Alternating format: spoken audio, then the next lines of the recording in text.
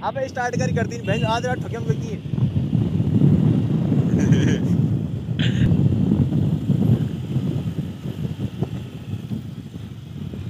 देखिए टायर को that goal देखिए तो रुक तो रुक कर